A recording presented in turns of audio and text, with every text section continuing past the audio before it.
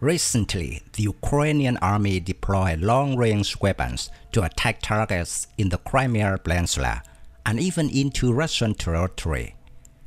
On the contrary, Russia also increased its attacks on Ukraine. Whether it was the capital Kiev in the north or Odessa in the Black Sea, air defense sirens often sounded. During this high-frequency attack, Ukraine discovered a worrying truth from Russia's Geran 2 suicide UAV. In the wreckage of the Geran 2 UAV that attacked Kiev, Ukraine discovered a Russian-made Kometa-M CRPA satellite navigation chip module. Well, well, this represents two sides. First, Russia's Geran 2 suicide UAV and support components imported from Iran are almost out of stock. Second, Russia is using self-produced components to meet the needs of producing a new domestic batch of Geran 2, using entirely domestic capacity. In the other words, Russia is likely to have officially mastered the ability to mass produce the Geran 2 suicide UAV. This not only means that it is difficult for Western countries, led by the United States, to limit or reduce the frequency of Russia's use of Geran 2 or Shahed 136 suicide UAV through sanctions on Iran. According to Western experts, the Russian-made satellite navigation antenna helps the Geran 2 UAV have anti-jamming capabilities and higher attack accuracy than the original Iranian Shahed 136 version. This helps improve the combat effectiveness of this weapon. More importantly, there is a high possibility that the scope of application of the main components of the Russian-made Geran 2 UAV will not be limited to Russia, but will expand further abroad when Iran, North Korea, Syria, and other countries continues to strengthen military cooperation with Russia. This is not good news for both Ukraine and the US. First is Ukraine. This is Russia's main war goal.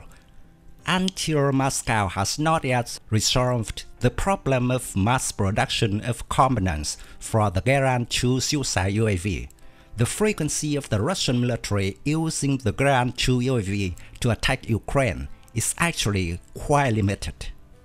During the first few months, the average monthly number of launches was not even 100 Geran 2s. After Russia increased the scale of imports, although this number increased, it only doubled to an average of more than 200 aircraft per month. This UAV's threat to Ukraine depends on the continuous saturation attack tactic, making it difficult to intercept. Therefore, Russia will actively promote the localization of the Geran 2 suicide UAV. Only in this way will higher intensity attacks on important Ukrainian targets not be limited from the outside. After Kalashnikov Group increased production of the Lancet loitering suicide UAV, the frequency of Lancet deployment by the Russian army on the front lines directly increased. Next is America.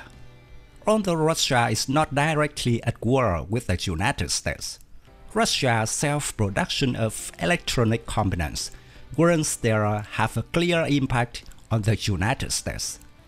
First, this shows that US sanctions against Russia have not had the expected effect, and Russia can still maintain a certain level of self-research ability for sanctioned parts and components. The second reason is that once these Russian-made parts spread abroad, the overall performance of the same equipment in many countries that the US considered adversaries, including Iran and North Korea, will be significantly improved. In this case, even if the United States maintain its overall technological lead, a large number of countries, including Iran or North Korea, could also be able to pose clear military threats to the United States and its allies.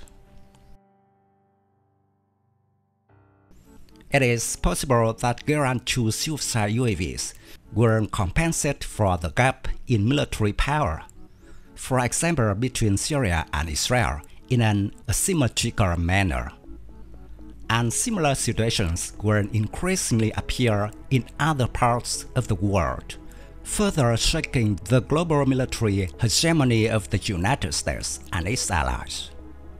Therefore, to a certain extent, once Russian-made suicide UAV parts and components begin to circulate around the world, Russian weapons will have widespread influence in the international context in the new century.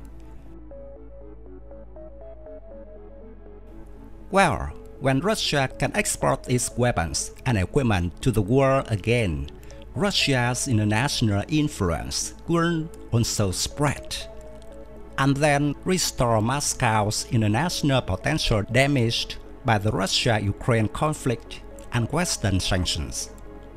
Not to mention, in addition to Russia, China is also actively expanding its influence in the international community. The two are tending to come closer and complement each other, and America's strategic space will certainly shrink By then, the US will clearly need to worry more about how many Geran 2 suicide UAVs the Russian military will produce, and how many of these will be sold to countries unfriendly to the US. And in the immediate future, Ukraine itself will suffer attacks from Geran 2 almost every day.